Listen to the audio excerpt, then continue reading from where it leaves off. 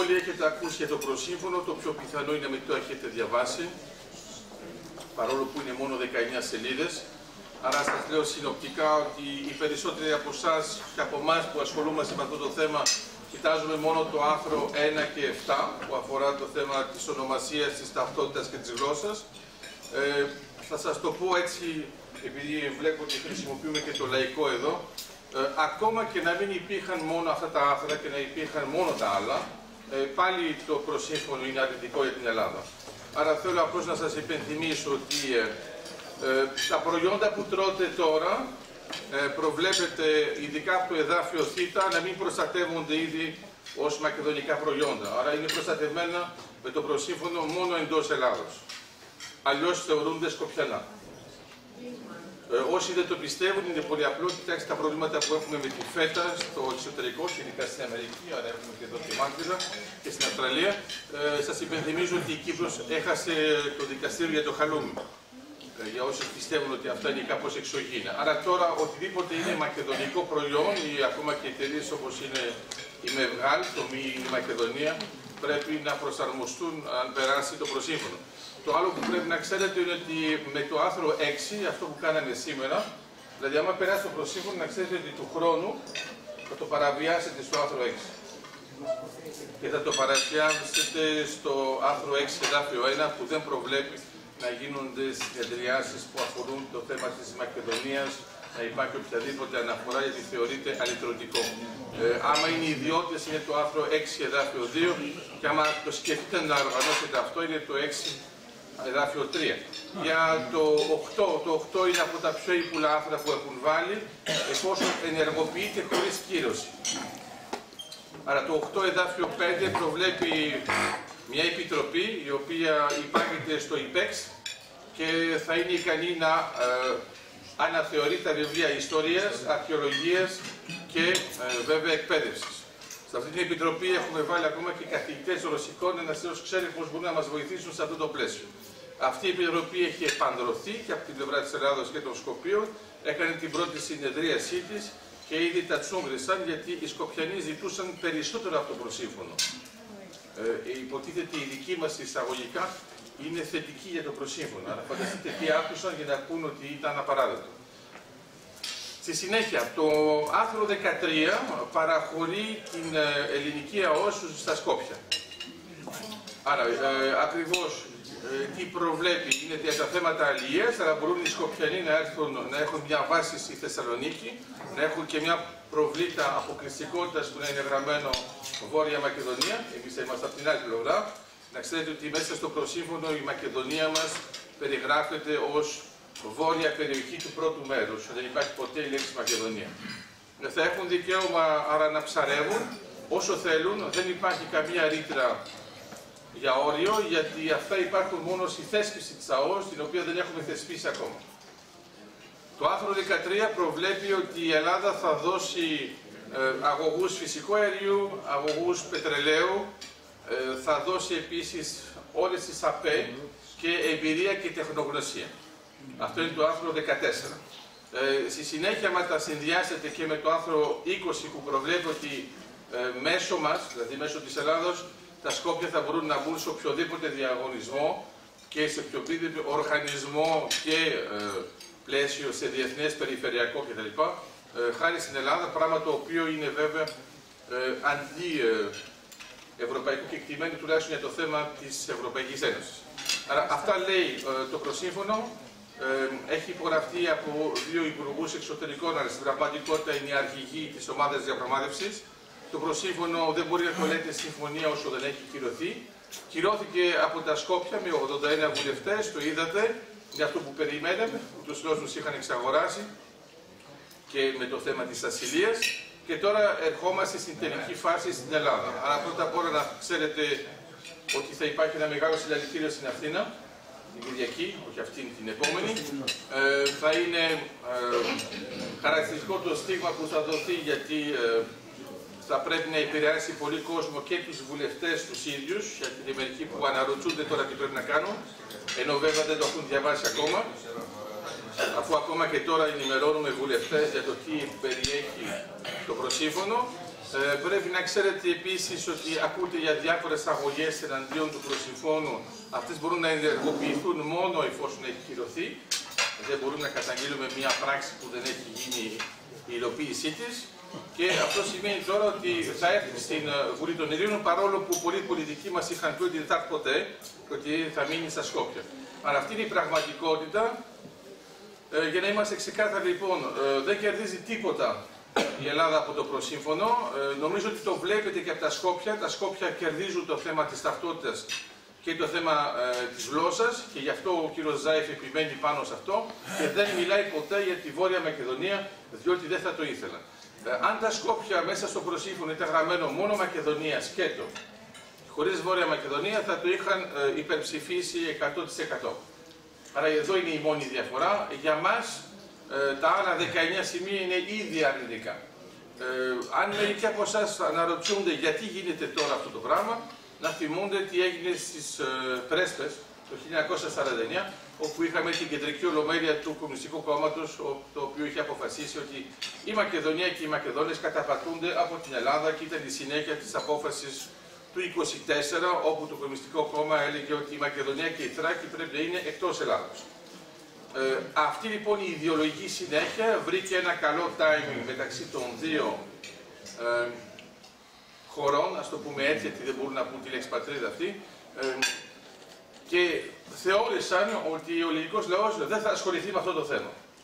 Άρα να ξέρετε ότι είχαν πάει ήδη στην Αμερική τον Οκτώβριο του 2017, ε, λέγοντας ότι να μην βοηθήσετε τους Έλληνες Ελλάδος. Τους Ελληνοαμερικανούς ο κ. Κοτζιάς με το επιτελείο ένα κλιμάκιο για να τους, για τους επηρεάσει, αλλά βέβαια ξέχασε ότι οι Έλληνο-Αμερικανοί είναι και Έλληνες. Άρα τον έγραψαν κανονικότατα και γι' αυτό είδατε τα αποτελέσματα και γι' αυτό βλέπετε ότι χρηματοδότησαν όλα τα μεγάλα συλλαλητήρια χωρίς κανένα πρόβλημα και το ίδιο θα γίνει και τώρα. Άρα το λέω αυτό για ποιο λόγο. Πρώτα απ' όλα έχει μεγάλη σημασία τα συλλαλητήρια, γιατί έχουν μεγάλη σημασία. Είναι αυτά που μας ε, επέτρεψαν να τους αναγκάσουμε να μην βάλουν Μακεδονία σκέτο. Θα το είχαν βάλει χωρίς κανένα πρόβλημα. Στα συλλαλητήρια δεν ξέραμε ότι είχαμε το θέμα της γλώσσας και το θέμα της εθνότητας και γι' αυτό δεν λέγαμε τίποτα. Τα ανακαλύψαμε, μας είπαν ότι ήταν ένα πολύ καλό προσύμφωνο. τώρα σας ρωτώ, γιατί έχουμε πολλούς ανθρώπους υψηλού επίπεδου, αν εσείς έχετε πετύχει κάτι, γιατί δεν το δημοσιεύετε; Ε, το μάθαμε τρεις μέρες πριν την ε, μομφή, αλλιώς δεν το ξέραμε καν. Και να ξέρετε ότι ακόμα και τώρα το επίσημο κείμενο δεν έχει δημοσιευτεί και το έχουμε μόνο από την εφημερίδα καθημερινή ως ένθετο και από την άλλη εφημερίδα ως PDF. Στραβό, χωρίς υπογραφές. Τα λέω δηλαδή γιατί έχουμε και στρατιωτικούς, ξέρουν τι σημαίνει ένα κείμενο χωρίς υπογραφές. Άρα, ε, αυτό σημαίνει τι πρακτικά; Σημαίνει ότι δεν είναι ένα διεθνές ε, προσύμφωνο. Ε, ο κύριος Νίλης ήταν απλός μάρτυρας, δεν μας αναγκάζει κανένας να το κυρώσουμε. Ε, ήταν θετικό που επιτέλους η αντιπολίτευση είπε ότι δεν θα το κάνει, ενώ να ξέρετε ότι τον Ιανουάριο το προηγούμενο ε, δεν υπήρχε κανένα κόμμα στην Ελλάδα που ήταν εναντίον του προσυμφώνου. Ε, αυτό αν με ρωτήσετε πώς το ξέρουμε, το ξέρουμε πολύ απλά, πολύ απλά από τα πρακτικά των Σκοπιανών, τα οποία τα δημοσίευσαν στα αγγλικά, όλες τις συζητήσεις, άρα ξέρουμε τι γινόταν τον Ιανουάριο και τον Μάιο τα πρώτα κόμματα που ήταν εναντίον επίσημα του προσυμφώνου και την ώρα της διαπραγμάτευσης άρχισαν το Μάιο.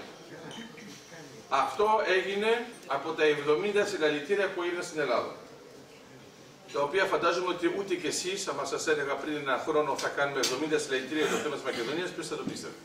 Άρα, ε, σε πρακτικό επίπεδο, ε, υπάρχει μια διαφορά μεταξύ του προσυμφώνου και της εισόδου ε, στο ΝΑΤΟ των Σκοπίων. Το ιδανικό από ό,τι φαίνεται, γιατί επειδή μου είπαν να πω και πώς το βλέπουν, θα ήθελαν να περάσουν το πρώτο, να κάνουμε εκλογές, να έρθει η νέα κυβέρνηση και να φταίει για το δεύτερο. Έτσι ώστε θα είναι σίγουρο ότι φταίνουν όλοι και μετά στις επόμενες εκλογές, οι οποίες είναι αναλογικές, να μπορούν να ξανάρθουν.